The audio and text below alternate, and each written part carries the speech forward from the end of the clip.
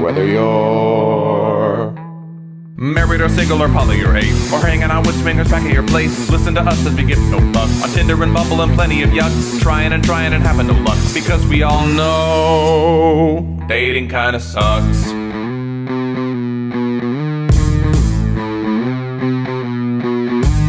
Sarah and Adam are two of a kind. He says stupid shit and she doesn't mind. They're not doing this show to make any bucks. Life as a chicken whose feathers they pluck. Why does it work? Well, here is the crux. They both know dating kinda sucks.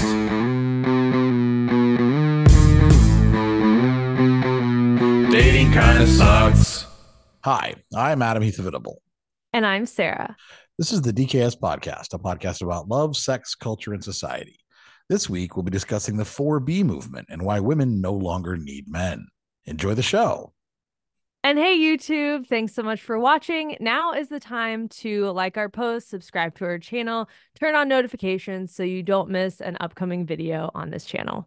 Well, oops, we skipped March. I don't even know what happens. Uh, I would, of course, blame Sarah for her travel schedule, but she was only partly to blame. Uh, I couldn't come up with a good topic. We tried, and just nothing was really hitting with with either of us. And I wasn't feeling the podcast vibe for a month, so we took a break. But here we are. We're still here.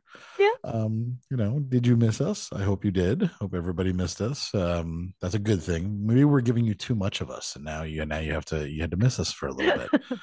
right. We're, we're like trying the you know the anxious attachment style uh, with uh with the podcast. Sure, sure. Um, yeah. Well, uh, yeah, we are back, uh, and there is an really interesting and and exciting movement out of uh, out of South Korea called the 4B movement that's uh, been around for a few years that has inspired us to explore a concept that should be worrying to every American man with an unwashed ass that women don't need you anymore, bro.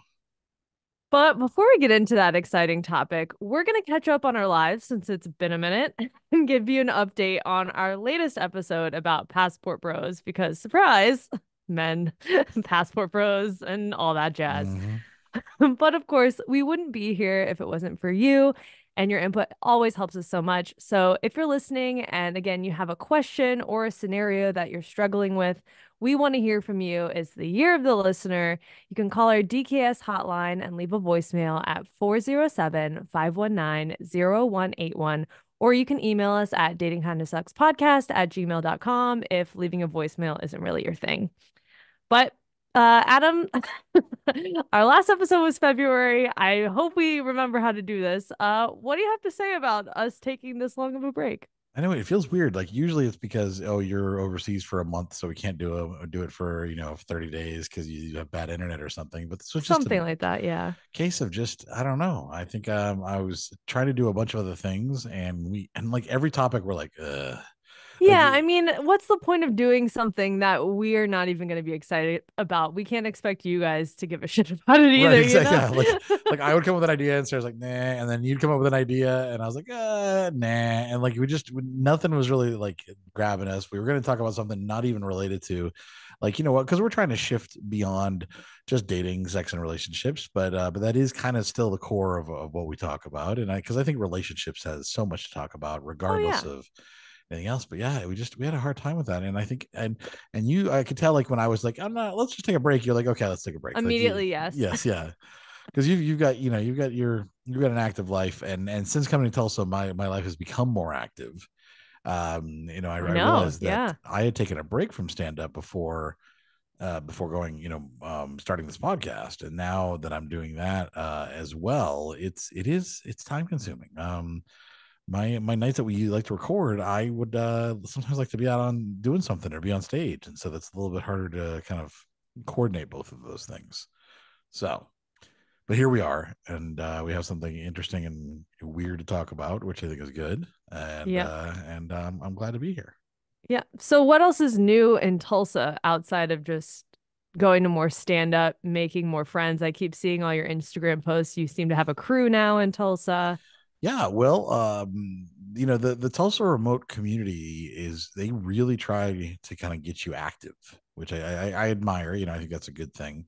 Um, and they like they'll eh, they always have events going on. They have like groups that they'll give discounts to certain things, and just and you know all, types of things. They'll be like, come out and try it, come out and do this, and and uh, it was funny because back in March, they were promoting um, last weekend, they were doing a, a huge family day at the um, basketball arena to watch the Harlem Globetrotters play basketball. Okay. And, uh, Family day. Yeah, Okay. like it was like a go meet up for lunch at a local restaurant. Um, everybody meet up there, like basically taking over the whole restaurant, and then uh, go over and watch. You know, we had a they had a whole section of the uh, arena set up uh, or the stands set up for for Tulsa remote people to go watch the game. Was like, oh, that's not bad. And tickets were like really cheap. They're like 10 bucks each or something like that, 15 bucks. And I was like, oh, that's kind of cool. You know, and I'll, I'll, I'll get a ticket because that could be, that could be fun. Um, and then as the day got closer, I was like, what the fuck was I thinking? Like that could be fun. Like, I like going out with a group of families to lunch and then going to watch a basketball game. Like I got sucked into their, their bullshit is what I did. Like they, they sucked me in and it almost got me, but then I gave up my tickets. So that was, uh, I'm surprised you came to your senses because I was questioning why you. I was like, family day. I, I know, day. I know, what? I know, I know. I just think, I, like I said, they, they're, they're always promoting all these things, and I was like, oh, I should be more active. I should do that. They also, uh, they are doing a thing which I, I will do, um, where because a lot of obviously Tulsa Remote is all remote workers, and so they have a a couple uh, co-working spaces that you can take advantage of that you have a you know free membership to that I have not stepped into once beyond my initial orientation because I have no desire to do that. But they're doing like a lunch thing now where they you can sign up and they're breaking people into groups of like four or five people and then uh covering lunch um like once or whatever like in, it's in it's next week That would get me in. and yeah and like Free food. kind of yep, I'm free in. lunch just try to get people of different backgrounds to kind of chat and everything and i was like you know what i can do that i'll get i can go eat lunch that's fine with me because i can make sure it's a day that i don't have any work to do afterwards and i can just call i can call it a day after lunch i can go out and do whatever you know so that'll be my uh you know my excuse so Tough that's day at the office. yeah, I know. Yeah, that, exactly. So, so I, I am trying to get more involved in those things when they are suitable for me, and Right. even sometimes being fooled by them occasionally. um, I, I have, uh, yeah. So I've been doing that, and yes, I, I met my, uh, I have two neighbors that I become friends with, and um, since we're all in the same building, it's nice to be like, hey, you know, we're gonna walk around the corner to to you know grab a drink or whatever. Do you want to join us? And so, um, that we've been doing that uh occasionally you know a couple times a, a week usually and that's pretty nice it's nice to have like a little just a little group of friends Yeah. um and then of course stand up i've been uh, been out there doing open mics and working on uh new material and that's been going well and getting to know the comedy scene pretty well and the uh comedians who are all um generally pretty pretty pretty cool and pretty supportive people and i'm, I'm like enjoying meeting a lot of them and that's that's okay, nice. you're meeting you're meeting better comedians because before you were just saying everybody's got some kind of sex joke or dick joke. Well, like no, so that's open mic. I mean, when you go to open mic, uh, you know, the, there are the, the very first time I went to open mic, I was like, okay, yes, like I some of the comics, I was like, oh, these they're they're terrible. Uh, but as I've been going to more, I'm seeing the few that are good that that are that are popping up. Okay. And I'm and so yes, they're not all terrible, but they the unfortunate things here is that there are two open mics that are at a comedy club, at two at a, two different comedy clubs, and they are um they're kind of open to anyone who wants to go out. I mean, they're all open mics are open to anyone, but they promote. So they're like, you know, hey, come on out and if you try stand up for the first time. And so that's where you get a lot of the really, really shitty uh, ones. And the beginner um, beginners who probably yeah. shouldn't do it. who, yeah, who there's not much potential. They just, you know, they're giving it a try, and everyone's everyone at work says they're funny, so they're gonna get up and try to, you know, be funny, and then they realize, oh, unless you work with me or my friend, you're not gonna laugh at me. How odd, you know? But uh Right. it it is pretty funny. The other night, there's this um kid showing up who's been. I mean, I he's, I say kid. He's probably just. I think I think he's still in college.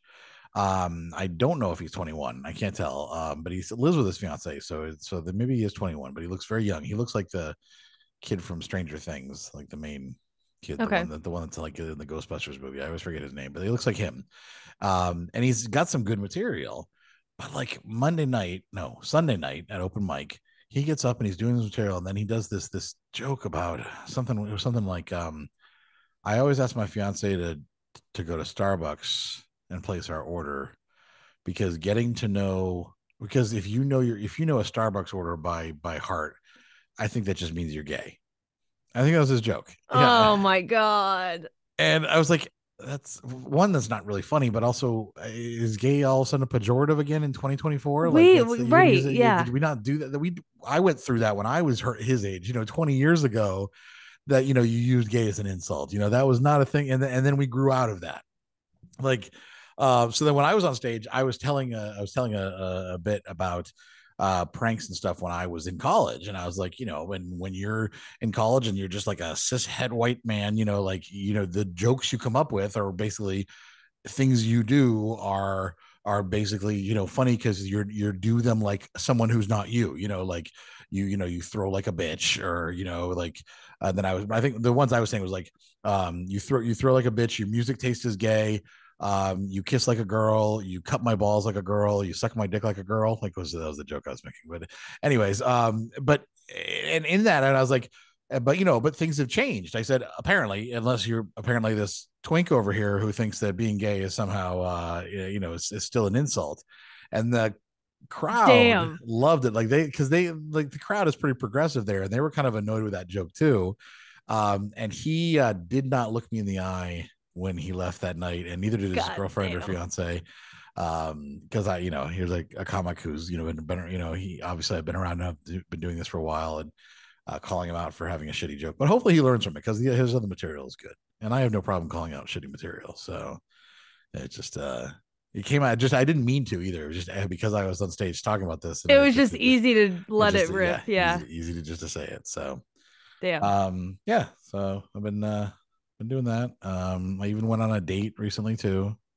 Look at you! I know. I, know, I, haven't, I haven't, been too active on the on the apps. Uh, well, I, I, guess since we've talked, I've probably been on two dates with two different people. Um, right. That's, yeah. Yeah. That's right. So, uh, one was uh, we we had a good time. There wasn't really any any like chemistry beyond just kind of someone really fun to hang out with, and we, uh, you know, she was a day drinker, so we we started day drinking on, on like a Saturday, and you know, it was it was quite a night. Um, like started at like 3 p.m. and then I think you know I finally we left at like we we we left the third bar that we were at by like 9 p.m. You know, that was one of those one of those days. Mm-hmm. The, this one, uh, this day was uh, just uh, someone who is right now isn't drinking because she has a friend who's going through sobriety, and she promised her friend that she wouldn't drink for as long as her friend didn't in a show of support. And then she said, uh, she told me that uh, she goes, I really didn't think she would last this long. So this has been hard. But I really didn't think my friend was gonna be able to stay sober for this long. Um, but uh, and I was like, well, do, do you have to stay sober? You can't have drinks when you're not with her. Like, how does that affect her, like her sobriety if you're not with her? Like, it doesn't matter. And she goes, yeah, you know, I'm I'm thinking it might be time to talk to her about you know some exceptions to that. But um, yeah, we went out to this uh, little local local arcade bar and uh, just hung out for uh, like an hour and a half, uh, two hours, just kind of chatting. She was uh, very introverted, very quiet, and um. And wait, how'd you meet on the app? Bumble, yeah, it was through, Bumble, through. Bumble, yeah. Um, and so we and and and we had a, a good good time, good conversation. Um, didn't end up going anywhere after that, but uh, but it was you know it was nice to it's nice to get out there and just sometimes talk to people for a little bit. Um, yeah. I realized that when when I don't have the podcast and if I'm not talking to you on the phone or out with my neighbors, you don't talk to anybody. I don't talk to anybody. and sometimes like um like I realize that I, I can not trauma dump because I don't have trauma to really worry about, but I can just be like info dump sometimes just because when I when I meet somebody new, because I'm like, oh, someone to talk to that I haven't talked to in a while.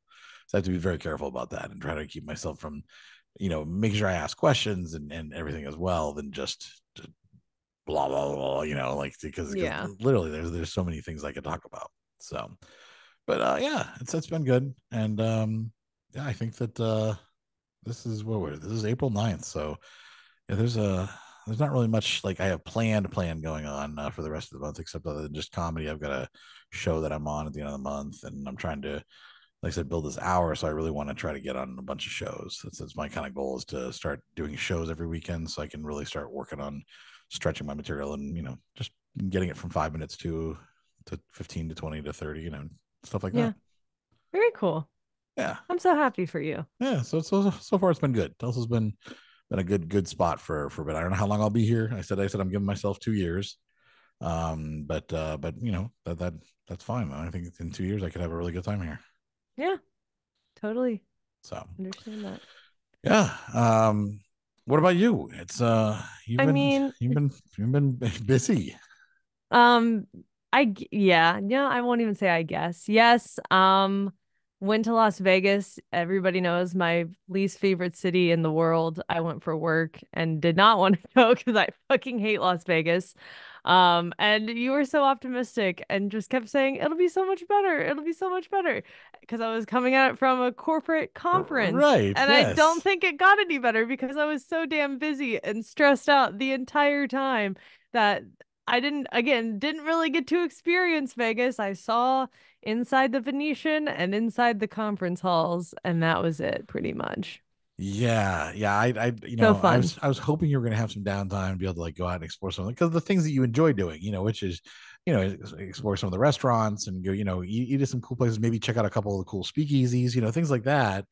Um, and and yeah, Yeah. not didn't expect you to be quite couldn't even leave. Yeah, Yeah. couldn't even really leave the main building. So right. unfortunate. Um, but Was you it know, better whatever. or worse than your last experience though?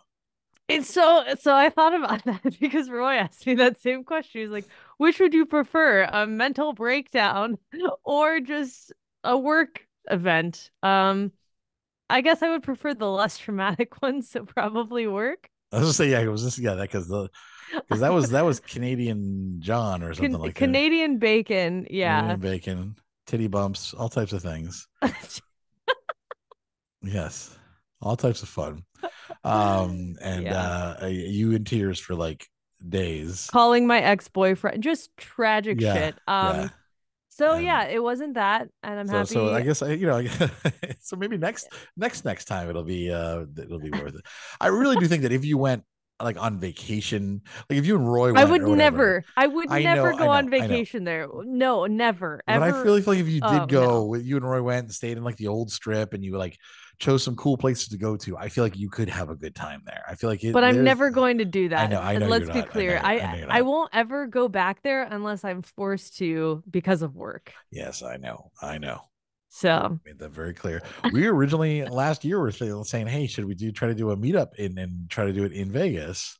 yeah, and now And- I've completely changed my tune on okay, that so because that's I never happening yeah, because I like the idea because we were going to do like a choose your own adventure where you could like take the Saturday and either go with Adam or go with Sarah, and like you know, and so you, you- people who came could uh, kind of figure out which path they wanted to go for the night for the day.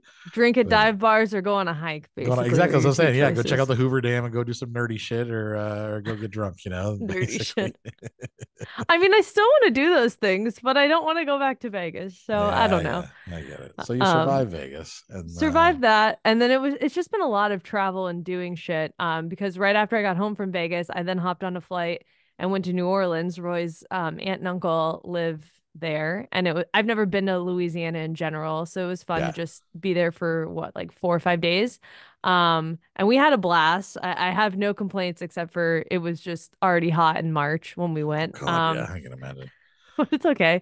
Um, I don't know. I- Like, if it wasn't for climate change and just being in a swamp, Roy and I both said, you know, Louisiana. I don't know. Even though it's a red state, that's that's the other con. But Yeah, um, because we had considered moving there because it was closer to. It's only an eight-hour drive from Nashville, so we could still stay stay in the southeast. But we flipped a coin and said, let's make a big move. So you made you made the right choice because I think we did. I would say yeah. you, you you should go back there in July first, and then be like, oh fuck no. I mean, A lot of people said that to me when I made the comment of I was seeing houses that I could afford, and they said, "Yeah, go back in the summertime." And I already, I already know I don't want to fucking be there at that point. So right? And you were so you were there, and um, I mean, the they had a parade, right?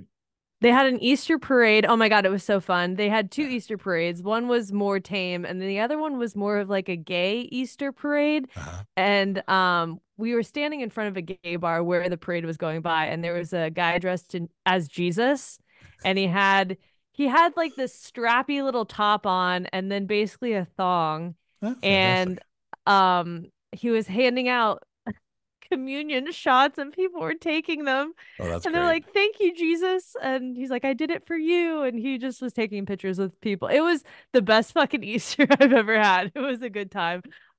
That's nice. That's awesome. Um, yeah, I think that I think the other thing about New Orleans too is that if you were living anywhere near town, you would eventually get sick of the um, constant parades, like the you know any any chance to have a raucous drunken parade through through town. Uh, you know, for every every minor holiday, Arbor Day, you know, National Trombone Day, whatever, they're gonna like throw a parade. But I think I mean that's part of the fun of New Orleans though. Maybe Nashville was different because it's Yeah. just drunken bachelorette parties where this had a little bit more culture thrown into it, I felt. But Yeah. I mean, you're right. I would probably with any city, you're gonna get sick of certain things. So you know, Maybe was one, um, they had uh, St. Patty's Day um, here. They had like a block party um, just about a block away that we went to. Went to brunch. Me and my, my two neighbors um, brunch, and then we walked around and just like went from kind of bar to bar. And they had a bunch of little bars set up. It reminded me a lot of downtown Orlando when they like kind of have block parties. yeah. And they they close down like the you know three three different blocks so you can kind of walk around the whole area. Uh, it was really nice, except it was um like just fewer people, so it wasn't like so insane that you can't walk through the crowds, and it was enough people that they stay busy and they make money and that's good for them, but also enough space that you could actually walk into one of the bars and like sit at the bar. You could find a spot maybe, you know, and, and stuff like that. Yeah. And that, that was really uh really kind of nice. That's cool. Yeah. Um, so just made me think of that too. Yeah. Well, also in New Orleans, so we travel with his sister. it's funny. So his sister was mentioning how her and her boyfriend are going on a trip for their anniversary. Mm. And I was like, oh, interesting, because Roy and I are celebrating our four year anniversary this Friday, which Oh, is that's right. crazy to think about. crazy. Four Um, years. four fucking years. Um, of just going on our first date. Um, Right. not officially like boyfriend, girlfriend, but whatever, four years. And um, so I asked him, I was like, Oh, that's interesting. You know, your sister and her boyfriend are doing a trip. What are we doing for our anniversary? And uh, kind of just put that in his ear when we were there. And then he's been planning stuff. So we have Oh. plans. Um, we're actually going to do it on Thursday because my friend's coming in on Friday. So we'll probably just do something more low key, but have something. That's good. I think it's good to, you know, do something. You know, it is it's important um to Yeah. have something there. We and typically don't do well. We didn't do Valentine's Day because I was in another country, and we didn't celebrate last year because I was in another country, and Right. we did most of the time. I'm in another country when it's like the things to celebrate. So yeah, it will be nice. so since you happen to be here for once with him in the same you know, same state, same city, same house, might as well Yeah. do something. Yeah. Um it is hard to believe that four years ago you went on a really bizarre masked picnic date with uh with Roy and um I don't think we were. Well, the our first date was actually a Zoom. oh, oh we- was we this, did is this four the or five- of the Zoom date? Yeah, this was Okay. like the Zoom date. Yeah, so this was because I was gonna. I was watching Love Is Blind, and I was gonna unmatch him because he's like our conversations kind of died. Oh, I was that's like, right. That's "Eh, right. yeah, maybe I will unmatch him. And then for whatever reason, it was like, find love, love is blind. Like the first season that came out, Oh I just gave it some hope and said, what the fuck? At this point, everything sucks, anyways. I- How could this get any worse? And went on the date with him. Was was it your second date that was the picnic? It was like five dates after. I just I just remember that you still we still had people mad at you for it. Oh, see, I didn't even realize people were mad at No, me for that. they said something. Yeah, you- yeah, no, we knew that. It was like it was No, someone was just like no, the val my Valentine's day, my birthday, celebrating my birthday pissed a lot of people off what it was? because I went I- I out just to a that- restaurant Okay, that's right. I knew that where no one was at. something with my two friends that were with, like, was, vaccinated. uh, yeah, that's right. That's what it was. I thought it was the date with Roy. Okay, no, never, never mind. No, no, no. Our Um, first our first date, we sat six feet apart or whatever the fuck and ate Publix subs by the river Right, and we're afraid to hug one another because right. that's right. that's what it was in 2020. Publix subs. I wish there was a Publix here. That I'll say what that that's one I big do miss flaw. that. Uh, none of the fucking grocery stores here could even come close, but I will. Yeah. Um, well, that's that's uh, yeah, okay, that's true. That's that's very uh that's very sweet though. I'm glad you guys are gonna have to do something. Hopefully, it'll be something uh, fun and you don't know what it is though. It's still whatever it is. I have no just- idea.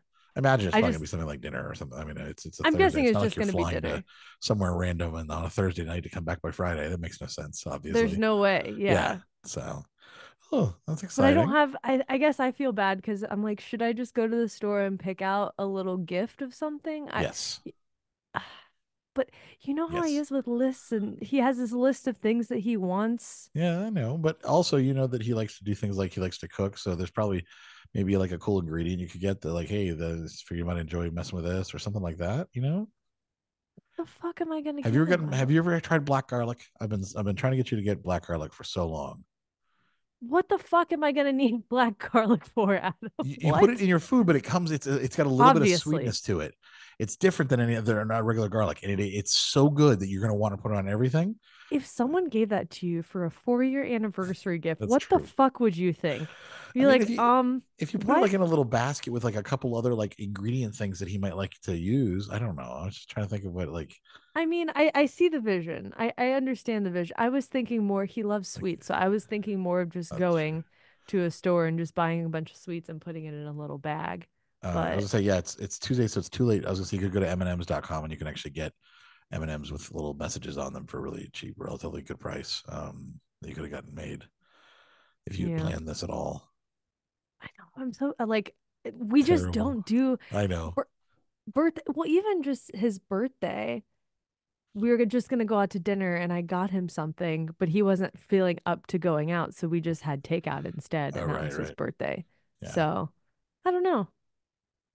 And I got donuts. I don't know. Uh, maybe I should just buy. Something nice, like yeah. Is there like a gourmet donut place or like a you know one of those There things? that- is. yeah, something like that might just be a nice little like you know in the morning or whatever that you go get that, and that's kind of like a happy anniversary. Here's some sweets that you know he'll eat by the end of the day. Yeah. um because he uh loves his sweets Well, I just don't think it needs to be this big. Like, what big gesture gift am I gonna get? Yeah i know but it's some you know but it is uh, you know it's, it's important to celebrate these milestones too because it's it you know shows I don't disagree with you. Yeah. But I'd rather just go out and have a nice date night Yeah. at a nice place that we haven't been before that we've been wanting to try. That experience, and that's what kind of where we're different, where experiences are more important to me than materialistic things. Yeah. And experiences are important to him, but if he could have a nice gift that he wants, he's gonna Right. want that. You but he's also very particular like i am where he like he has Yes. very specific things that he likes and yeah Right. So Yeah. like why buy him just shit that he's like, what do I need this for? You know, what do I need black garlic for? You picked up an an ingredient, I, I great. guarantee though like if you got some and you tried cooking it like it would blow your mind and it would be he'd be like this is the best ingredient i've ever had like yeah i want to put this in everything so I'm, I will time you're at buy it. store, okay, buy some, sold. or, or Thank on amazon or whatever but i just gonna- this episode is brought to you by black garlic Thank you for that. well, Uh, speaking of ads, it's so ridiculous. Um, I was gonna say something, and before we cut oh, to break, Yes, before we cut the break. Um, you know, I've I've been trying not to buy things because I just like I don't want to start cluttering again, and so I'm trying to limit Mm-hmm. limit my purchases to like, do I really need this in my house, or is it something I can have on digital, or is it something I can just live without? Um, but the other night, drunk, Oh, I God. bought this is this is this is the stupidest thing in the world. I pre-ordered a vinyl of Billie Eilish's newest album with like a limited edition cover on it. Like it's like a limited edition painted cover and vinyl. Why is that stupid? Well, I'll give you one guess why it's stupid. You don't listen to Billie Eilish? That No, would I be love stupid. Billie Eilish. How about Okay, another I- how about another reason about a vinyl record? You don't have a record player. I don't own a phonograph or a record Well, I guess I guess it's time to get one. yeah or just have it and I can hang it on my wall or something i guess maybe it might be the thing but yeah i was like why am i buying a record i don't i don't own a record player did i really call it a phonograph just a second You really did. I wasn't Yeah. gonna correct you, but I'm glad you corrected yourself because I'm i mean like, that's what, what, the it's fuck? called right I mean, that's isn't that what it's originally I mean, maybe, but people call it a record player back in now. my day we called it a phonograph It's not the worst. back in worst. my day purchase. we ate black garlic and we called it a phonograph It's not the worst purchase you could have made, but yes, No, it doesn't I- really make that much sense. yeah i know i except the, it looked really cool art and i and like she's one of my favorite artists so i was like yeah well, okay maybe someday i'll have a place where i have a record player and that'll be the only record i have and it'll be great That's okay. I only have three records, so yeah then I had a I won a record player and then it broke. So oh i didn't know that that sucks They've broken a move. That's fine. Ah. It was free. Whatever. All right. Well, um, last question. Can you remember what Roy's nickname was when you guys first started dating? Oh yeah, Master of None. Master of None. That's right. I was trying to. You remember couldn't that. I- I was- remember. I did- no, I couldn't remember. So I was, I was hoping you remembered. Master of None. That's right. That's because he bought he started me that. the one. Like I'm gonna go to Whole Foods and pick up a bottle of wine. What do you want? Yeah, he used that line. He did use that line. All right. Well, with all of that, why don't we take a quick break? Um, and when we come back, we're gonna do a quick little update on uh, last episode in February, February's episode about Passport Bros. And um, so yeah, we'll talk about that when we get back. So when we did the Passport Bros episode, I did a clip that I threw up on TikTok and uh, like a little one minute clip that I pull from our episode, and then one that I put up on YouTube as a YouTube short. And our YouTube shorts get um, well, they get some hate. The sometimes. shittiest people. they do. 'cause it hits the worst. YouTube commenters manage to be still even even with Twitter turning into X and turning into like an alt right Nazi playground. YouTube still has the worst commenters. It's it's really amazing um, just how how bad they are.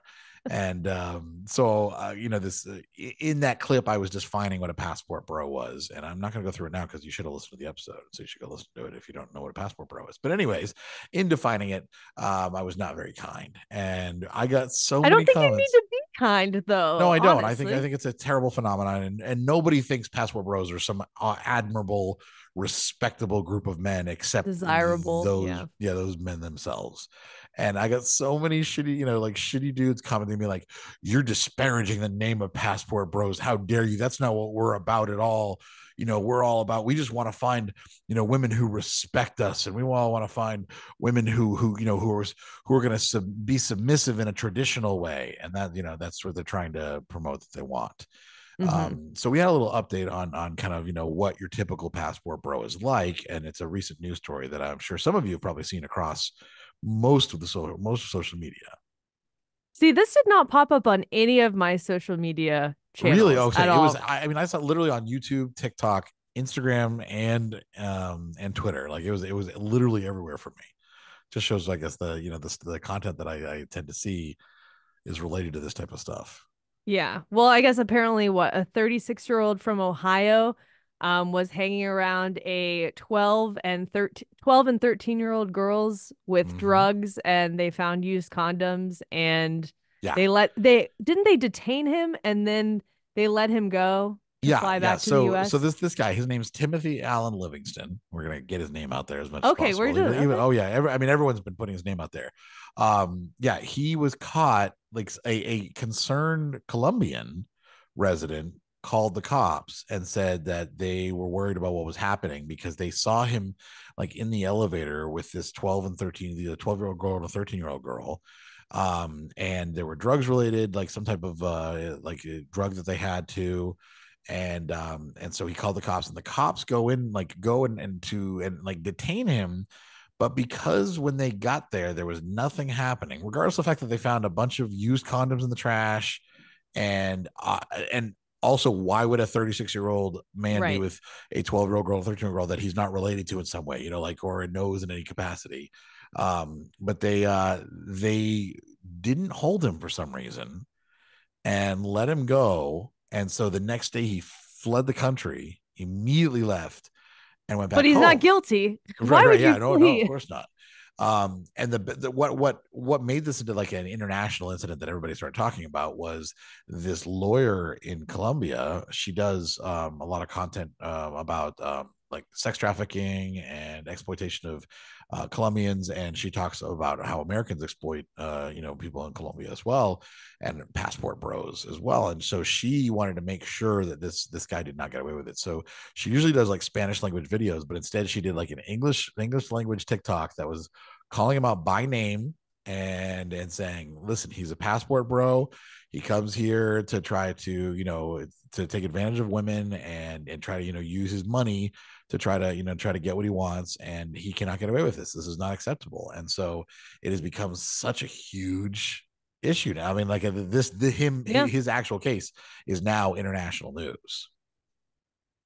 Surprise. Yeah, I know. the Um, only reason that this is international news is because someone's calling him out specifically, Yep. which I'm glad you did on this yeah, oh, episode. yeah, but yeah, yeah.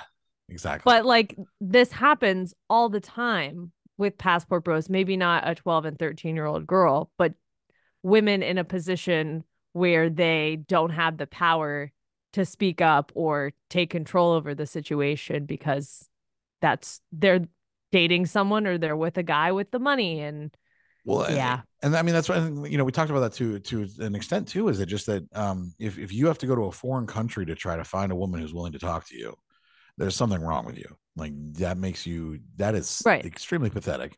And then going, you know, a lot of times they they will go to countries where the age of consent is a lot lower too. Like the uh, I think like Thailand is a is a big um is a big popular place among passport bros.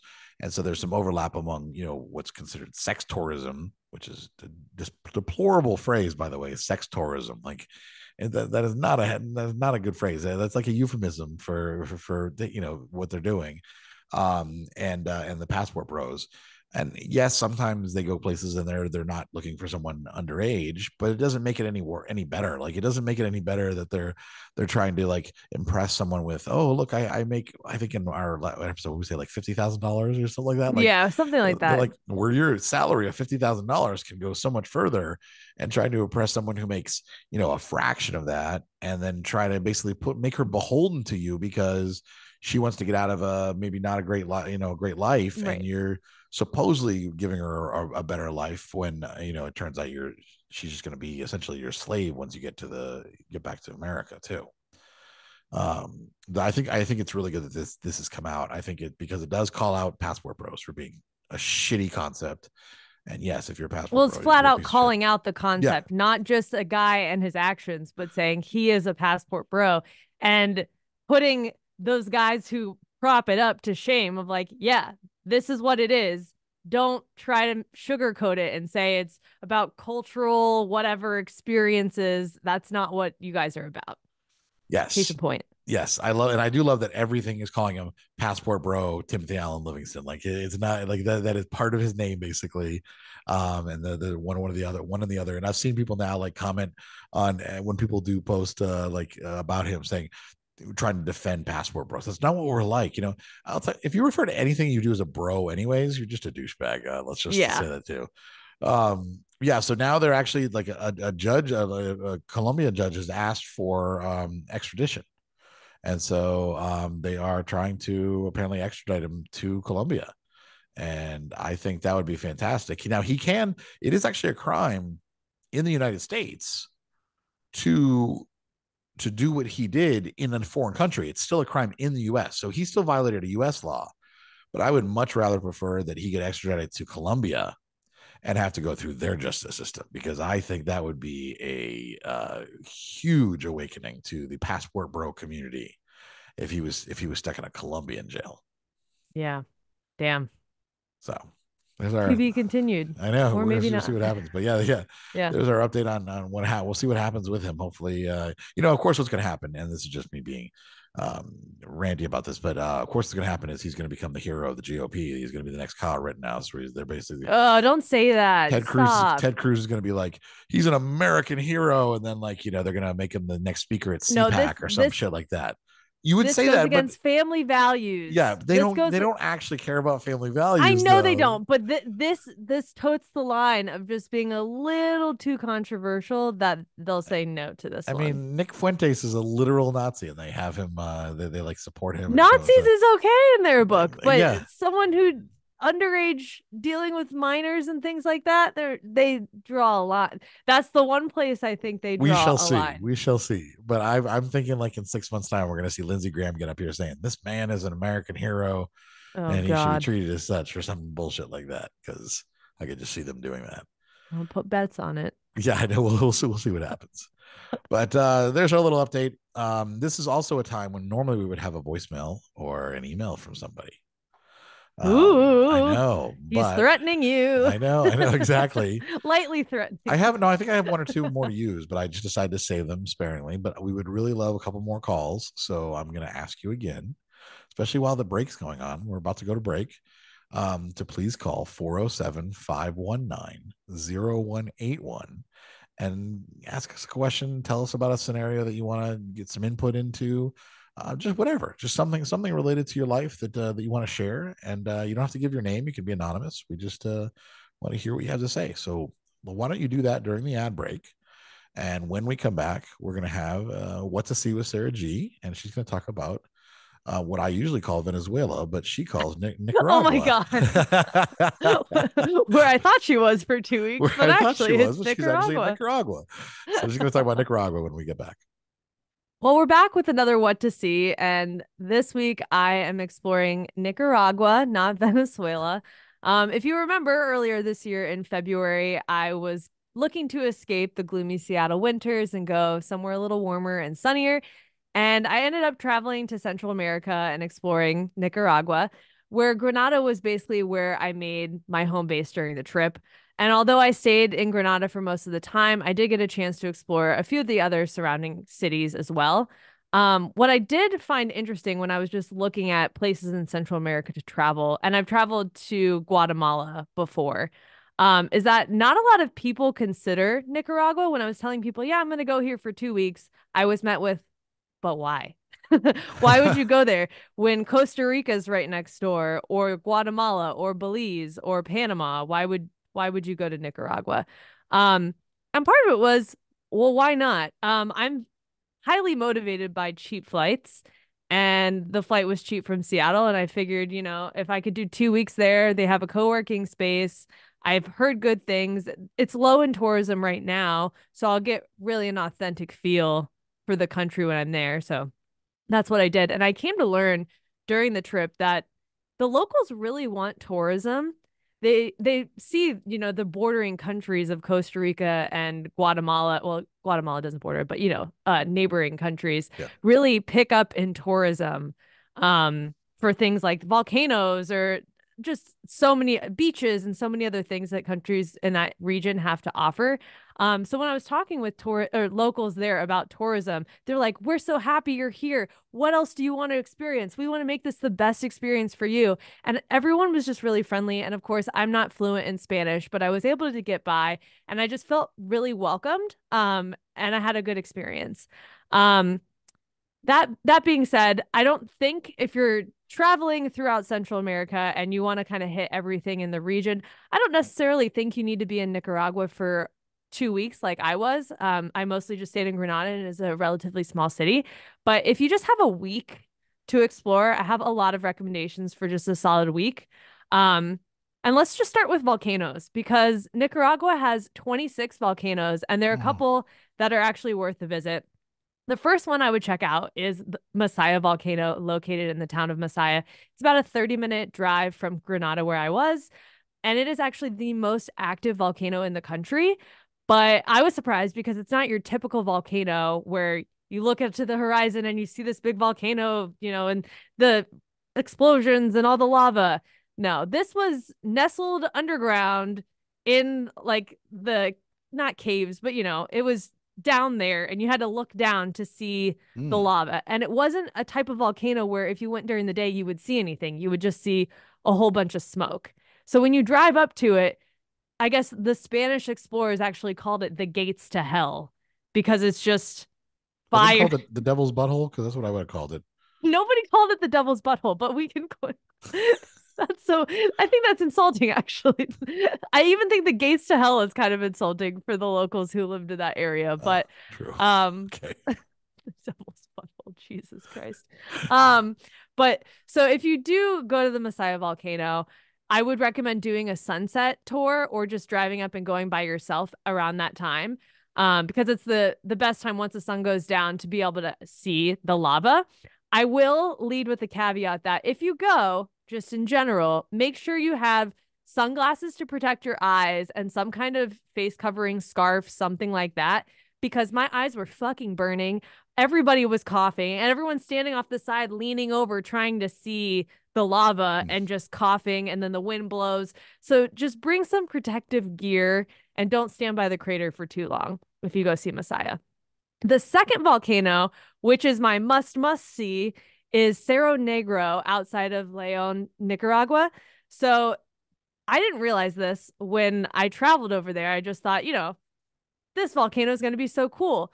But if you follow any kind of bucket list travel activities, it's actually listed on CNN's travel like must do's and most adventurous things as the second most thrilling thing you could do on vacation.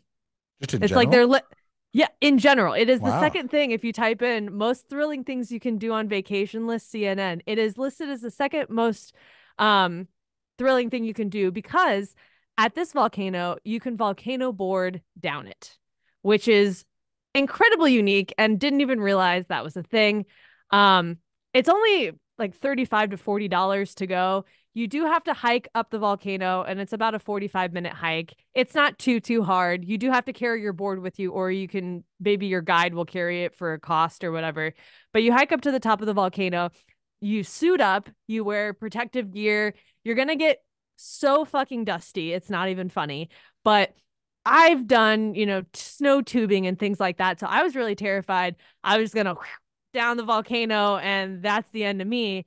Um, but I was surprised that I actually had a lot more control going down the volcano because you can put your feet on both sides of the board and lean back and forward to control your speed. So it's about, you know, a minute to two minute ride down, but it was so worth it. I mean, fuck, I would do it again. It was a great time. 45 thing- minutes to climb up and two minutes to go down. I mean, are you surprised by that? No, that's just, you know, the, the, like, that's why, that's why I don't like skiing. It's the same type of concept. You know, it takes full so long to get up and then, yeah, go down again. But I mean, yeah, but the hike the hike really wasn't too bad. Plus, it's pretty beautiful around there. But of course, as we're hiking up, they're like, this volcano last erupted 30 30-ish years ago. And I'm hiking up going, um, what the fuck am I doing on this goddamn volcano then? And our guide's like, no, it, it'll be a while before it erupts again. I'm like, oh, we're just risking my life right now. That's cool. Just slide down it like a dumbass. Um, but it was it was honestly the best thing um, that I did while I was there. And of course, if volcanoes aren't your thing, within both of the cities of Granada and Leon, there are a lot of really beautiful churches that you can climb up to the top of and get some amazing views of the city and take some photos. There's also a lot of lakes around the area. There's the Isletas. There's, I did a whole, it was called the water and fire tour. And that was like the morning and the afternoon we spent at the lake. And then we went to that Masaya volcano. So there's a lot of water activities if that's something more up your alley. Of course, there are the beaches on both sides of the country. I just wasn't able to get over to that um, side. Um, and then if partying is your thing, which I learned on this trip, um, uh, that is not my thing. There, there is a jungle party at this treehouse hostel about 20 minutes outside of Granada. And this rave starts at around 4 p.m. So they'll pick you up at 4 and it ends at 4 in the fucking morning. you know, as little as as little as I like people, as much as I despise people, that like a jungle rave and like, from 4 p.m. to 4 a.m. sounds kind of amazing to me. It does until you're well, okay. So I'm speaking from an old woman's perspective. I'm an old lady and I knew this probably wasn't going to be all up my alley, but I'm I'm down to try things and I think going in with an open mind was a good thing. Um I was good for about 3 hours because you get there, you you see the sunset and that was why I wanted to get there at 4. I wanted to see you're literally in the jungle. Um see the sunset, hear the birds, climb around. There's the treehouse area, then there's another DJ station that has other stuff, and you're in two different tree houses. So the setup was really cool, but the vibes just were not for me. They played a lot of European house music. And to me, it just sounded like alien music after a while, and I wanted to blow my fucking brains out. Excuse me, but that's uh, both. Uh, there were so many other Americans there going, "What the fuck?" And I was so surprised that yes, there were Americans there, but there were so many more European travelers, I guess, doing a Central American travel trip for three months. And so Nicaragua was part of their stop. And the music was really tailored towards them. Um, they had played they played Murder on the Dance Floor and one song from Mamma Mia. And those were the two times the crowd fucking lost their shit. And then they went back to playing alien music. And I was like, Did you learn nothing? This is what the people want. And I just kept holding out for actual music. You know, I, am there for the, the vibe. And it just didn't happen. So it was about $40 for a ticket. And it, it's a high price tag for local. So there aren't locals there. There's locals working the event. Um, so if you're looking for a local activity, this isn't it. If you like European house music, perfect. Um, just not something for me, but want to throw that out there. That is something you can do, and it is a big thing. On Friday nights in Granada, there's fucking nobody around because everyone goes to this to the jungle party. Right. I imagine a lot of them probably don't always go at four either. Like they probably if No. they're going for the party, they probably don't go till ten or eleven. So yeah, and some some Yeah. people get well the last the last bus to get in is eight. Okay. So you have to be there at least by eight o'clock, and then eleven is when the first pickup. I, it's either ten or eleven the first pickup Mhm. is. But at that point, I don't know. It's just I could go on and on about the jungle party Wait, experience. I know when you tell told me that you were going to one of those, I was I was like, I was so excited to live vicariously through you, and then you were so you like so annoyed there. It was it was so funny when you're like on your Instagram story, just being like, and then telling me how bad, just how how annoyed you were about everything there. I mean, yeah, Yeah. it was uh, the the bathroom situation was probably the most interesting bathroom I've ever had to pee in. Um, you know, it's just like being in another country with a different set of infrastructure, Sure, and sure. you're literally in a jungle in the middle of nowhere. So you're gonna squat over this thing and hope for the best type of Are- are- experience. Are there wild animals in uh, Nicaraguan jungles? You know, I'm fucking sure there are because I was asking that question too. And then my other question was, how does this music and lights affect the animals every Friday night? This probably fucks them up, their nocturnal system or They're, whatever. like excited about it. They're like they go dance. That's what, no, that's what I was concerned about, not the people tripped out on whatever the fuck they were on. I'm worried about the fucking animals. right. Anyways, those are some things you could do. And then as far as food goes, I ate very well, in especially in Granada. Um, but if you're very short on time and you want more of an authentic Nicaraguan dish, you have to go to this restaurant called Restaurantes Comidas Típicas y Más in Granada. We were told by the locals at our hotel that it was the best place for the traditional food. And I totally agree. The service was great. Um, just keep in mind in general, everything I, I spent a lot more cash than Mhm. I expected to in the country. Um, and so this was one of the places where I needed cash and I was running low and almost I was worrying about how I was gonna pay. Um, Oh, because I did not have enough cash. So bring a lot of cash or don't bring a lot of cash. Just have a lot of cash on you. There's ATMs everywhere. But um that was a learning for me because I'm just so used to barely ever taking out cash unless, you know, I have fifty a hundred dollars worth for an emergency, you know. Um but overall a great country, lots of great things to explore, people. And yeah, that's what to see. Well, just so you know, um, there are jaguars, Oh, you looked at it. Don't tell me that. Oh god. Okay, those are fine. Well, those are kind of I mean, those are just small jungle cats. So there's two types of jungle cats that are uh, that are there. Sloths. You could have seen some sloths. Um, Oh, I did a- see monkeys. I did Yeah, see and then- monkeys. and yeah. then a lot. There's a few different variations of monkeys, howler monkeys, and other types of monkeys. Um, and then bats. Lots of bats too. It looks like different types of bats. So just uh, FYI on what what maybe you uh would have seen if uh, you were in the jungle at a different part of the jungle where there wasn't a rave going on. Yeah. And the other interesting thing about traveling there was, uh, well, I had watched a lot of travel videos before going there to kind of get a grasp of what my experience might be like. And some people were saying, and I don't have a reference point because I've never been to Costa Rica, but some people were saying that Nicaragua is what Costa Rica was before it blew up with tourism. Mm. because no offense costa rica I don't have a big draw towards costa rica just because it seems too commercialized Yeah. by the western world i think it's be- I, I think you know staying at one of the resorts and whatever would be a really beautiful experience but i do like some of the local experiences where you really feel part of the culture and they have that you know that's all of what nicaragua offers versus i think costa rica is more westernized now so Oh, i yeah, just thought that was really interesting considering they share they're they're bordering countries and they share a lot of similar features as far as volcanoes and lakes and craters and all these things so yeah just keep that Interesting. in mind All Yeah. right. that's all i got no more raves for me La- that was my last rave at 32 i'm done yes, your last rave ever again. first and last Oh, I, I forgot to tell you that's what Roy has planned for you as your anniversary surprise. You guys are going to a European rave. It's just purely Eurovision songs. Um, so That would be, but Eurovision songs would be fucking better. I than mean, how, they I like house music. I like like I, I like the just the building crescendos and of like a you know the That's not what this was. techno. That's not what this was. Let me reiterate I, maybe you have to describe the music a little bit. Can you can you sing a little bit for me? Dunce, dunce, Yeah, dunce. yeah. It was just that the Yeah, entire fucking. and then the it- nothing- and then But there was no building of oh, anything of build like any- oh, 'cause let that's the what- beat drop. There was no fucking beat drop. Nothing. Just the same. And I couldn't tell the difference between one song and the next because it was just What, No. yeah. Like also, you know, that, when I went to Iceland, I, I and went to an Iceland um, strip club. It was like that, where the um, the, The music was club.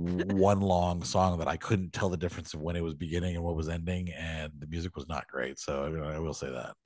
Yeah. Well, yeah, because some Europeans really, some people from Germany really got on my case because they're like, why aren't you dancing? I'm like, I really don't like this music. They're like, this is all we played back in Germany. And I was like, I fucking hate this.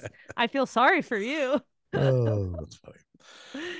All right. Well, thank you very much. And we are gonna go take a our final break of the show. And when we come back, we're gonna talk about the 4B movement and discuss um, how women don't need men anymore. So we'll be right back. So last week I did a TikTok that said uh, that I, I posted that was just basically saying, "Hey men, you know you're not competing with other men for women." Because I, I see so many, you know, like so many shitty male dating coaches that are saying things like, you know, you got to be, you know, you're competing, who Alpha competing male. against. Yeah, yeah, you know, like it's the, it's the, you know, it's that alpha male Chad who's, you know, who's getting ninety percent of the women on the dating apps, stuff like that. I was like, and so I did this video that was like, you're not competing with with other men. You're competing with peace of mind. You're competing with, um, you know, a nice night home. You're competing with being able to wear whatever she wants without being judged. You're competing without worrying about being gaslit or or assaulted. You know, you're competing with like you're competing with all of these things um, that have nothing to do with another man, and that Right. the sooner you can learn that and become a person that a woman actually wants to have in her life. Then you realize there's no competition at all. And that's all you have to do is just become someone that a woman, you know, because women don't need men and it did pretty well. And I, and I got a bunch of comments that women kept saying, uh, like 4B, 4B, you know, and, and stuff like that. And I wasn't, I, I didn't really know what that was. So then I Googled it and was reading about this 4B movement. And uh, and then later on in something like something else you sent me too, uh, brought it up as well. It was um, it was like men talking about it, of course, in a shitty way or whatever. And um, and, and you know, but you were like, you should stitch these people too. And then Yeah. like, and then we have a topic. And um, so yeah, Well, yeah, and there's been this huge influx of shitty men on TikTok talking about, well, what are you gonna do if you're not with men? And Right. women are stitching it, being like, happy? I don't know. yeah, yeah, yeah, alive? yeah, exactly. Uh, So, so like, so it's just interesting that like you know the, the concept that women don't need men is, is something we'll get into, but then like this 4B movement is its own separate thing that's been going on for a while now, right? Yeah, I think so. You pulled an article and it said around 2015 or 2016, the no marriage lifestyle was growing in South Korea and kind of just boycotting men and reproductive labor more Mhm. in a in a broad sense. So that's they've had, you know, almost 10 years to really build up the momentum for this movement because it's not going to happen overnight where huge groups of women are saying, "Yeah, we're done," you know? And you and I were talking about this too. I think South Korea is just ahead of us as far as a movement where we're not putting up with men's bullshit anymore. We're mm-hmm. we're at the awakening stage as for people who are actually online, not critically online, but just somewhat online. They're seeing more content about women, we don't have to tolerate this anymore. Men, you should be acting like this and calling out men and their shitty behaviors where I think South Korea has just had a little bit of steam on ahead of us in that sense. Um, and I, I'm happy that more people are talking about this and just the expectations of women don't need men to be happy. And everything that's been happening in South Korea, it, I guess it had been reported because of the B4 movement, their government is concerned because they had to close schools down because they don't have any first grade students anymore. right. For like a couple of schools just didn't have first graders this year Yeah. because women aren't reproducing with men. So that's that's the cause. And I'm seeing that trickle a lot into American politics now and conversations in the media of our birth rates are starting to get low. What are we going to do? And it's like, have you considered any of the options that would make make it more desirable for women to want to have a child? Not only just a partner being a stronger candidate, you know, but also child costs and food prices and Right. cost of li- all of these Family other factors leave, yeah, yeah, all of these Yeah. other factors would really make it more desirable to want to have kids. Let's just forget about climate crisis and other things going on in the world. But if we if we fix the infrastructure of those things, it might be more desirable. But at the end of the day, it's men. you know, like to to reproduce, you do need unfortunately some kind of male sperm. So just don't if if that's not something that's interesting to you and dealing with men, just don't do it. and and and of course in America, they're you know instead of doing these things, they're also in like let's just take away the ability to have abortions because then Right. you can't have an abortion, you have to have kids. Um, so what's interesting, and so the the, the South Korean movement because South Korea is more patriarchal in, in nature. Um, and you know there, there are more there are stricter standards of what women and men are supposed to do you know supposed in quotes uh, by, by society. And that just got overwhelming for people. But um, i love that so 4b is actually what it actually stands for because i was like where does this come from too? is that um b in korean means no. And so it's um it's bihon which means no marriage bichulsan which means no childbirth biyone which means no dating and be bisexu which means no sex. So it's like they're saying no to these four things, Four things, heterosexual marriage and heterosexual sex basically as well obviously. Um but so that's what 4b stands for which i which that was really interesting to me because i was trying to figure out where 4b was coming from like having no understanding of korean language or like that. I was like what is what does 4b mean? It's like i thought it was like a uh like a law that said that someone in korea had enacted that women were fighting against or something like that you know like the 4b law or something like that. Um Mhm. So it's interesting but yeah so it, it's it's giving korean women uh to these days this many years later now still um the ability to basically live autonomously. Um and and that because women have the, the these women have basically come to the conclusion that korean men are beyond redemption which like that i thought that was really a, a powerful phrase. Korean men are beyond redemption. And with they have very high uh intimate partner violence in in south korea as well um and and and you know and they're just instead of asking men to change they're tired they're exhausted of asking men to change They're like all right fuck it we're done no more men and it's just Yeah. like that is that is that's a powerful thing to do Well, it's like, why would you put up with a system that's not working for you? Yeah. And everything in this article, everything is built around the patriarchy. How women have to purchase clothing to look presentable, do Yep. their hair a certain way, wear makeup, present in a certain way that's desirable. I also think in parts of South Korea, when you're submitting for a job, you also have to include a headshot and look presentable oh, in order to be hired. Like there's certain patriarchal things built into their system. And then of course, women aren't paid as much as men. The the the pay gap is so fucking huge that it, you know. So they're abstaining from dealing with men knowing that they're not going to make as much, but it's like you know, they their culture is built in a in a way that it's like, yeah, you marry because you're not making as much money as the man and you're going to need him, so it sucks to suck. Just just do it. You have no other option and women are saying, "Yeah, I'm fucking done with that. I'll just I'll just not. yeah I'll I'll make do with my less money, but at least I'll be fucking happy." well and if you don't have to spend money on on you know fashion for men and um Yeah. on on beauty products because you know the, the the men expect you to wear that also ends up saving you money too um and, and i think that that's yeah that that it's it's it's and it's made a it's made a it's made a statement it's made a very very declarative statement Well, also the Korean government hasn't done anything to make the situation better either. Like surprise, similar to the US. Um, Yeah. the Korean government launched an online national birth map and it showed the number of women of reproductive age in each area and illustrated what it expected of its female citizens. Yeah, So basically women were treated like fucking livestock that's ridiculous. and they're just mapping out what we expect how many kids we expect these women to produce for our society. And the whole function of like help us help you is like no, you're not fucking helping us. You're Yeah. just treating us as another number to build your fucking workforce in society. We're done. Yep. Fuck Yeah, you. Yeah. Um, I think I, I think I saw that one one of the women repl- replied by creating a, another map that um showed where all the men with sexual dysfunction were. That showed the high, Mhm. you know, and I thought that was that was kind of kind of funny and just a, a good way to respond to that too. I, I, I just saw uh, actually maybe you're the one who sent it to me um, a TikTok that I want to respond to, which was some douchey dude saying um, that it's a red flag to him if a woman doesn't want to have children. Did you send that to me? Mhm. I did send Okay, that to okay, you. yeah, yeah. So like, uh, yeah, like I thought you did. Um, and and like that guy was so like just like I I don't know, like I'm watching him just getting mad listening to him be be like, I mean, she should want to do this, and she should, you know, and just like and and basically describing a woman as being a breeding mare for him, and Mhm. and having no understanding of, of first of all the risks of of pregnancy because even though it is, um, you know, it's it's obviously we're not in the you know the 17th century anymore. It's it's still a dangerous thing. It can still women still die in childbirth.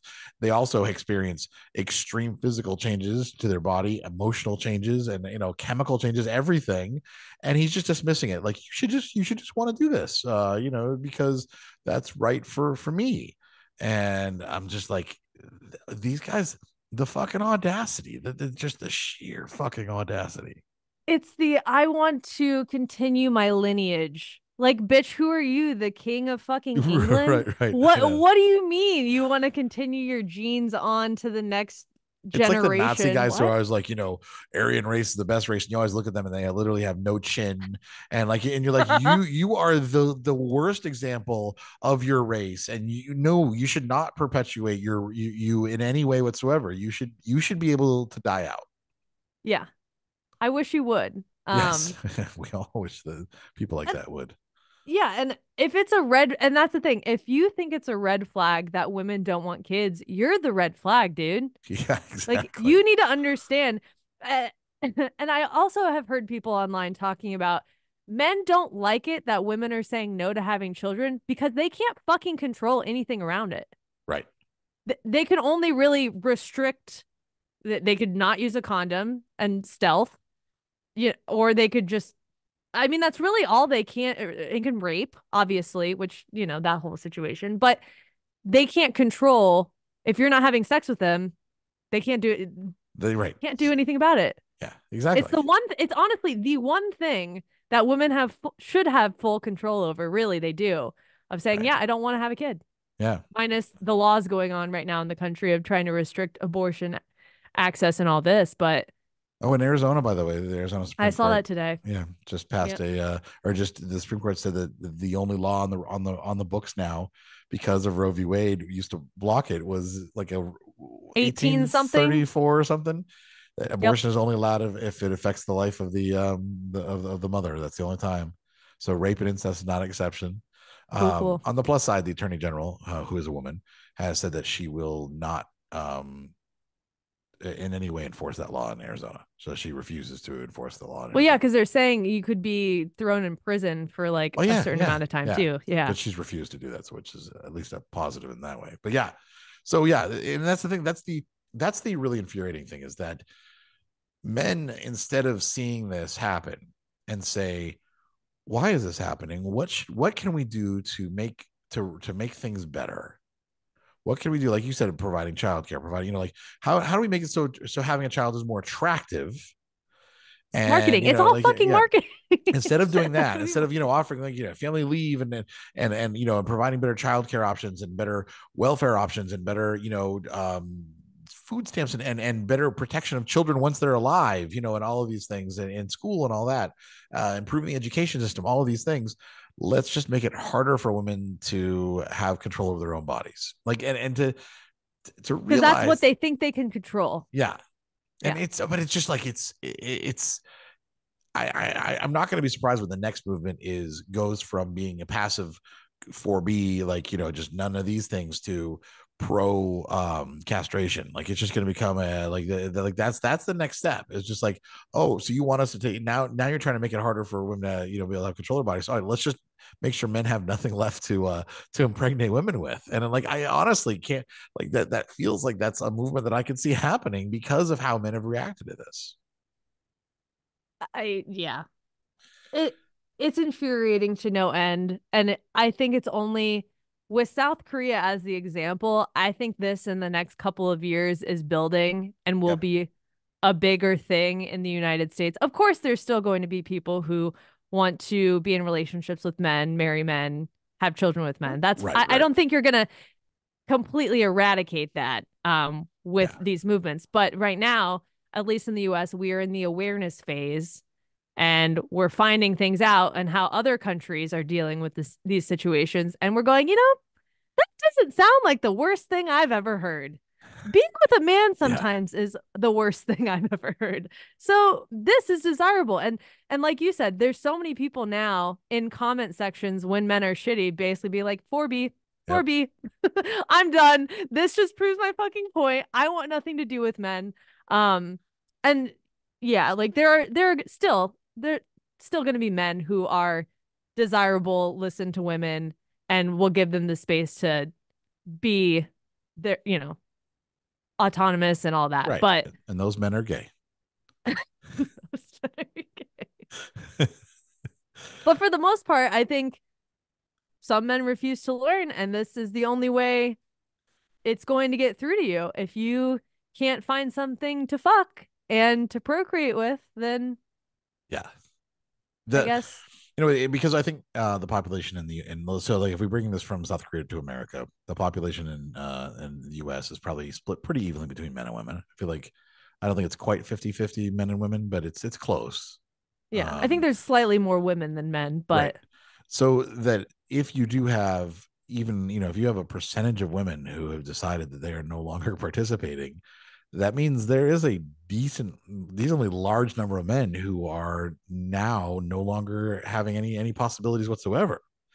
Um and you know of course in our society and in american society too women didn't need men. They did in the 70s because which is not that long ago um Yeah. they couldn't have a they couldn't have a bank account bank account or buy a house i think bank account it was in the uh 60s or 50s is when you could uh, finally open your own bank account without a man without your husband present or your father. And then i think um buying a house was the 70s you couldn't buy a house as a woman in in a recently enough that there are people who are still alive and around who, during that time who like who went through that themselves. Like that's crazy to me. So Yeah. now of course women are at this point where they're like i don't like now i don't need you. I don't need you for these things and and men men need to understand that if a woman chooses to be with you like if she wants to be with you that is a that's a positive thing. Like that's a that's such a that's such a healthy thing if someone's like i am choosing to bring you into my life because i don't need you but i want you. And if for a man to not understand that and instead get insulted and say well yeah you do need me. Who's going to kill the spider next time you have a spider? Or who's going to who's going to change your tire for you? Or you know or or who do you think built the road you're driving on? Or built that house you live in? You know and like oh and- my and- god. and getting defensive and shitty about it instead of being like, oh, you know, I want to become the type of man that you want to be with. Like that, that's the healthy, the healthy way to go is to say like, and, I- and that's the rational way to go. But this irrational defensiveness that these men get is so fucking pathetic. Like it is just, and, and, and it's like, it serves you right, dude. Like you are never going to see or feel the touch of a woman again for the rest of your life because you decided to be defensive and you deserve it. Yeah. And you said something important too choice, where I think there are men who still uphold the traditional family values thing. We're getting married really, it's a choice in who you choose, but you're getting married regardless. That's not the choice of getting married or not, or having kids or not. It's just who you're getting married and having kids with. It was never, that was never a choice Right. if you got to just be in the game or not. yeah. Yeah. And now it's more of a choice of like, yeah, I don't want to play this game. I'm fucking out. And that and because marriage benefits the men the men in the situation more than the women, men are even more I mean some some maybe are noticing, my quality of life isn't what I thought it would be at the ripe age of 35 because I'm still single living in a shithole and I've never cleaned my apartment before or whatever, you know? Yep.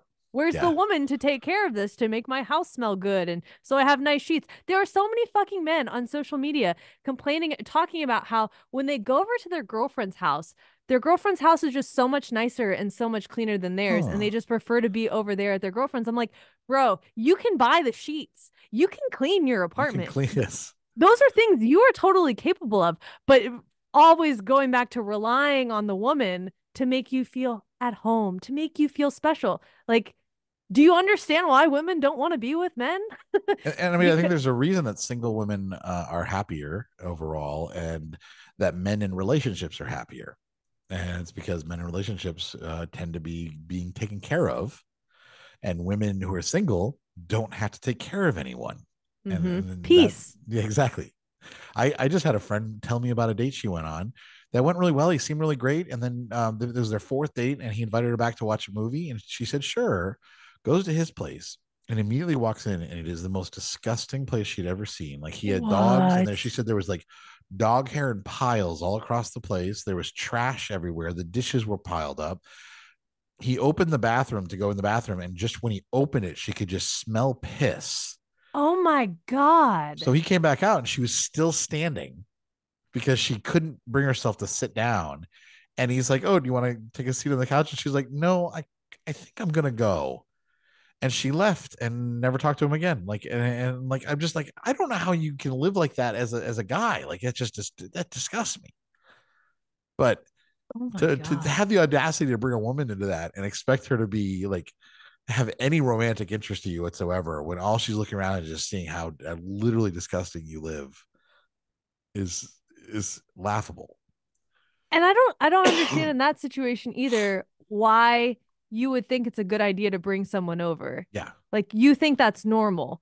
And I and I remember early on dating, I was so fucking impressed when I would go over to a guy's house and his place was nice because I had Right. been in situations where he's got a fucking pull out chair that you like, uh, you know, bring to a baseball game and a TV, like the Right, right, stereotypical yeah, thing, and a yeah. couple of posters of like scantily clothed women basically on his walls. And that was it. I'm like, um, is this an adult that I'm trying to have a relationship with? So when I would go to someone's house who had a couch and like a clean apartment, it was a fucking game changer. But you don't hear men really talking about women like that. Of like, oh, I went over to her house and it was fucking disaster, bro. She had no decorations and just so disgusting. You never fucking hear men talk No. about it like that. No. Surprising. imagine Wow. that. Wow yeah Yeah. so i mean you know that i think it just it, it really is an idea that yes women don't need men but men by god desperately need women And if this movement, I mean, people are so mad at this movement and just yelling and criticizing the, this movement and not doing the inner reflection of, well, why would women feel this way and Yeah. get how, what have we done for them Hmm, to get they- to a point right, where they're saying no more? Right. No, I don't care about that. Change your thoughts. Wrong, Yes. wrong, wrong. That's what Yeah. that's all they want to say.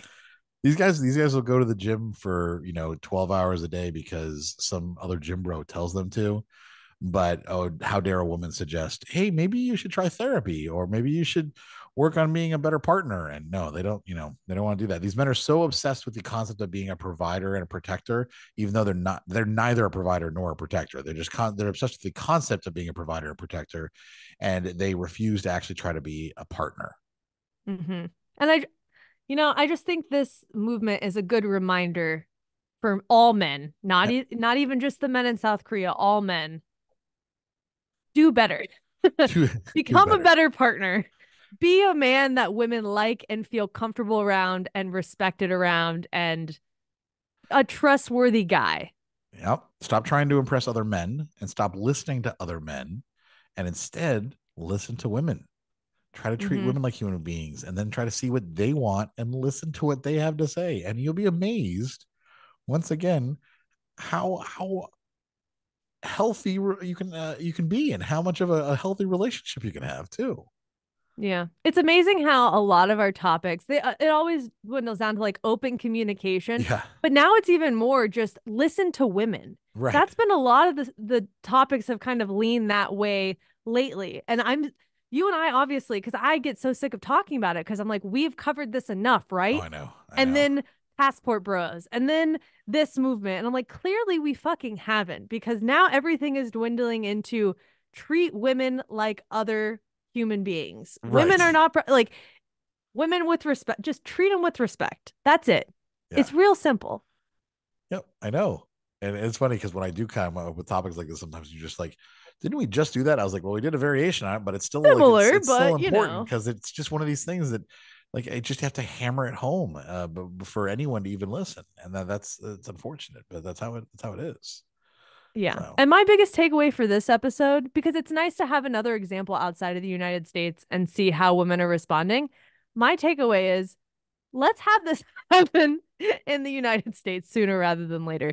Let's start pushing back more. Let's get out of the awareness phase of things and get into the action side of, yeah, we're really done now. We're not just we're not just done and posting, you know, TikToks and things on social media. We're actively calling more men out about their shitty behaviors and saying, "No, I I will leave your apartment because it looks like a fucking mess. I will leave the state right now because you made me feel uncomfortable." Instead of trying to make men feel comfortable in a situation because what good has it what, look at the point where it's gotten us to right now. And we're not fucking happy with that. So why continue to make men feel comfortable? Sorry, they have to be a little uncomfortable. We've been uncomfortable our whole fucking existence. Yeah, yeah. We got to come up with um how we can do 4B in in American in English. So I was, I was thinking about that and I was like, what can the 4Bs be? Uh birth, betrothal, banging, and the other one's dating. So um it's another word for dating. Don't. Maybe um birth betrothal and what was the other one Banging. and banging that's pretty good dating no dating what would be all the only b related to dating i can think of is bumble but that doesn't and really Bumble. There, no, no, that's perfect. That's actually yeah. Yeah? There we go. There we go. So yeah, there's a there's the there's the English version of 4B. It's gonna be birth, betrothal, Bumble, and banging. Like, let's just say no to all four things. And I mean, Huh. Bumble probably won't like them being turned into a, a bad phrase, but you know, sorry all about right. that Oh well. Yeah. So it's for the cause it's for the cause. it's for the cause. Well, um, we would love to hear your thoughts on this. I think this is uh, this is a very uh, interesting topic. Um, if you're a woman, I'd love to hear you know what you think about giving up men entirely. Like, is it something you're ready to do, willing to do? You can uh, you can call our hotline and talk about it, and we'll play your voicemail on uh, on air. And that's uh, that's at 407-519-0181. Or you can email us your thoughts, and that's dating kind of sucks podcast at gmail.com. And men, if you have an opinion about this too, and you're listening, and even if you're hate listening to this, you're like rage listening, and you want to leave a voicemail, we will respond to it and talk about it. Like I want to, I want to hear you. If you have an actual logical opinion, something that you think makes sense that we haven't considered, please, by all means, share it with us because the, it's something that I think would be worth us sharing with the audience. and even if you don't have a logical opinion please share it because it will still be valuable to the audience I mean, that's true too. and if you want to sound off in our Facebook group about the 4B movement or anything else like shitty behaviors, whatever, you can go to our Facebook group at facebook.com slash group slash DKS podcast. Adam's writing solo in there. I've been locked out of my Facebook account for two months now. Oh yeah, So- I forgot about that. RIPV. and of course, for $5 a month, you can become a patron on our Patreon at patreon.com slash DKS podcast. We're going to, whenever we actually do an episode, record a little mini episode after that's exclusive for just our members. Yes. And of course, if you want to watch this instead of listen to us, you can. You can also follow our YouTube shorts, which are entertaining um, at youtube.com slash dating kind of sucks. Uh, and then on Instagram, uh, I don't post them on at Dating kind of sucks on Instagram. I post them on my own Instagram, which is at Avitable. But you can follow that too. And you can follow Sarah's on simply Sarah G underscore. Um, and then, of course, five star rating and reviews on iTunes. If you haven't already, please, for the love of God, yes, I know. If you've been listening, Especially- we have we just we really want more because you know, like I said, reviews have gotten stagnant just because we've been doing this for like we're on our seventh season, so like Yeah. it's been quite a while. So uh, I understand that most people have probably given us a review and a rating, but we'd love for you to do it if it's new. If you're new to the podcast, please give us a rating and review. and a follow on Spotify as well, and a rating and review on there. They have right. those too. And we will be back. I'm in two weeks if we can find two weeks. another good topic i mean topics like this i think are valuable to bring to the table instead of just what is this new dating word? What is this right. new sex position? Uh, It's yeah, like, so we- okay, yeah, cool. so we're, we want to try to yeah bring topics that are that are interesting and and, and really you know br- do an episode when it's something that that we feel like we have it's just worth worth us mentioning and discussing. So, Yeah. um, probably two weeks. I'm gonna say two weeks Let's say two weeks. Yeah, before I go to another country that you don't know where I'm at. before she disappears again. uh, but yes, so we'll talk to you then. until next time.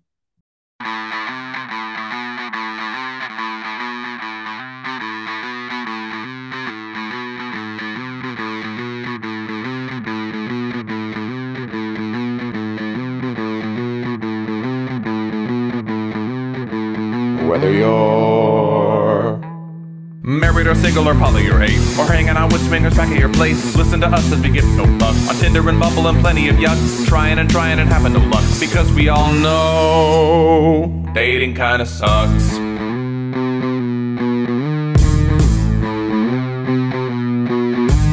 Sarah and Adam are two of a kind. He says stupid shit and she doesn't mind. They're not doing this show to make any buck. Life as a chicken whose feathers they pluck. Why does it work? Well, here is the crux. They both know. Dating kinda sucks.